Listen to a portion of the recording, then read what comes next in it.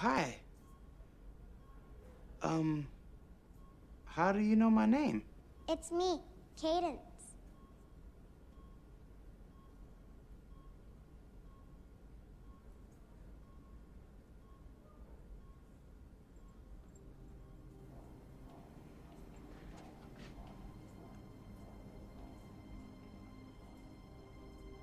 Oh, hi, Cadence.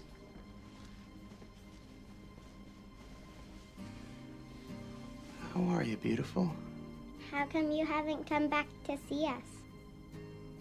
Um, well, me and Rosemary have been uh, having some problems. I, uh, I was really stupid. Oh. Well, why don't you go buy her a present and then maybe you can make up?